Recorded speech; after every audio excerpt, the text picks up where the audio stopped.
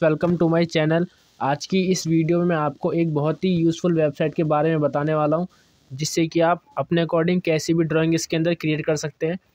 तो सबसे पहले अपने ब्राउज़र को ओपन कर लेना है और इसके अंदर हमें सर्च करना है ऑटो ड्रॉ डॉट कॉम तो यहाँ पर हमें सिंपली सर्च कर लेना है ऑटो ड्रॉ ये आपको यहाँ पर टाइप कर लेना है इस तरीके से और सिंपली इसको सर्च कर लेना है और इस तरीके से आपकी वेबसाइट ओपन हो जाएगी।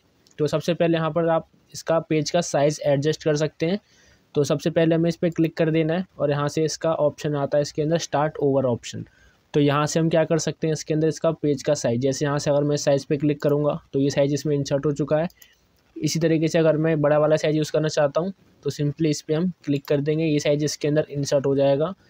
और इसके बाद से जो हमारा ऑप्शन आता है, इसके अंदर सबसे पहला ऑप्शन यहाँ पे आता है, जो लेफ़्ट साइड में सारे ऑप्शन दिख रहे हैं, ये होता है हमारा इसमें सेलेक्ट ऑप्शन तो इसका काम सिर्फ़ सिलेक्शन करने के लिए होता है, लेकिन इससे पहले हमें इसके अंदर कुछ ड्रॉ करना पड़ेगा। तो इसके बाद यहाँ पे नेक्स्ट ऑप्शन आता है इसके अंदर ऑटो ड्रॉ तो सिंपली इस पेंसिल पे क्लिक करेंगे, अब यहाँ से आपको कुछ भी ड्राइंग अगर आपको क्रिएट करनी नहीं आती तो आपको कुछ भी इसमें क्रिएट कर देना है। कुछ भी यहाँ पे बनाएँगे तो उसका कुछ ना कुछ इसमें अच्छी सी इमेज बन जाएगी। तो यहाँ पे जैसे मुझे पेड़ बनाना है तो इस तरीके से मैं इसमें कैसे भी एक ड्राइंग बना दूँगा पेड़ की। अब इसके ऊपर यहाँ पे सर्चिंग में इस तरीके से सारे के सारे इसमें पेड़ आ जाएँगे। तो आपको जो भी पेड़ इसमें से यूज़ करना है तो यहाँ से वन क्लिक में आप इसको यूज़ कर सकते हैं। तो इस तरीके से इसमें काफ़ी सारे ऑप्शन मिल जाते हैं और इसको सिलेक्ट करना है तो यहाँ से इसको सेलेक्ट करके इसका साइज़ हम यहाँ से छोटा कर सकते हैं और इसको मूव भी कर सकते हैं। और अगर हमें इसमें कुछ मिस्टेक हो चुकी है तो कंट्रोल प्लस जेड करके इसको हम अंडू भी कर सकते हैं इस तरीके से। और जो नेक्स्ट यहाँ पे ऑप्शन आता है वो इसके अंदर और भी यहाँ पे काफ़ी सारे ऑप्शन हैं। तो अभी ऑटो ड्रॉ से हम क्या क्या चीज़ें इसके अंदर बना सकते हैं? जैसे मुझे अगर यहाँ पे मैं कोई सर्कल बनाता हूँ इस तरीके से तो इसमें देखिए काफ़ी सारे इसके अंदर सर्कल के ऑप्शन आ जाएँगे। तो जो भी आपको इसमें से यूज़ करना है सिंपली वन क्लिक में इसको यहाँ से हम यूज़ कर सकते हैं। और इसका यहाँ से क्लिक करके मूव करके यहाँ पे साइड में इसको हम एडजस्ट कर लेते हैं।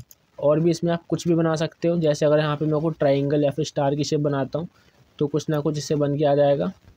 ये देखिए, यहाँ पे इस तरह से क्लिक करके इसमें हम बना सकते हैं। और इसके बाद से जो नेक्स्ट ऑप्शन आता है, वो होता है इसके अंदर ड्रॉ ऑप्शन तो सिंपली यहाँ से हमें इस पर क्लिक कर देना है। और आपको यहाँ पे कुछ भी अगर यहाँ पे इजली ड्रॉ करना है, वो आप इसमें ड्रॉ कर सकते हैं। और अगर पेन का साइज़ अगर आपको बड़ा करना है तो पेन का साइज़ आप यहाँ से बड़ा कर सकते हैं। यहाँ से इसको क्लिक कर देंगे तो पेन का साइज़ भी आप यहाँ पर बड़ा कर सकते हैं। और अगर पेन का कलर चेंज करना है तो पेन का कलर आप यहाँ नीचे से चेंज कर सकते हैं। यहाँ सिंपली क्लिक कर देना है। और यहाँ से क्लिक करके देखिए पेन का कलर भी इसके अंदर चेंज हो जाएगा। तो यहाँ से आप पेन की विड चेंज कर सकते हैं, नीचे से पेन का कलर चेंज कर सकते हैं। फिर यहाँ पे आता है टाइप ऑप्शन तो अगर हमें क्या करना है, पहले जो मैंने ड्राइंग बनाई थी, इसको मैं साइड में रख लेता हूँ।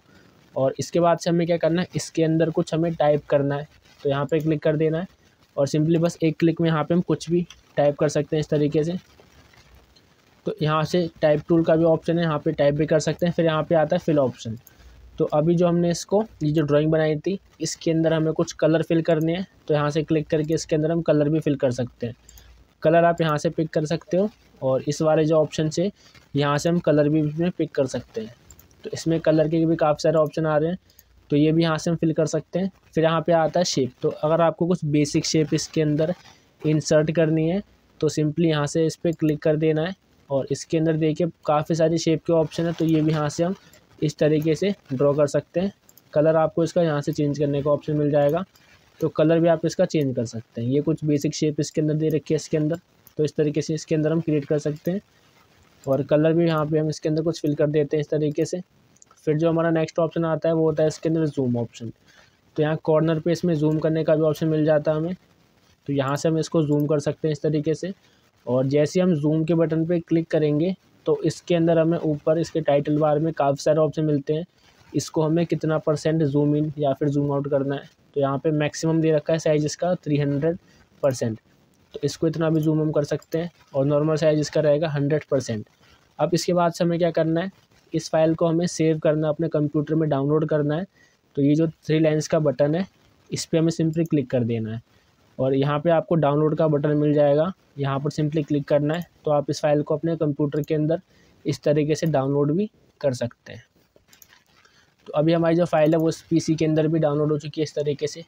तो आप इसमें जो भी ड्राइंग बनाएँगे, वो आप इजीली इसके अंदर डाउनलोड भी कर सकते हैं। तो इस तरीके से आप इस वेबसाइट का यूज़ कर सकते हैं। आपको अगर एक और नया डॉक्यूमेंट यूज़ करना है तो आप यहाँ सिंपली क्लिक करके इसको इस तरीके से यूज़ कर सकते हैं। तो उम्मीद करता हूँ आपको ये वीडियो पसंद आई होगी।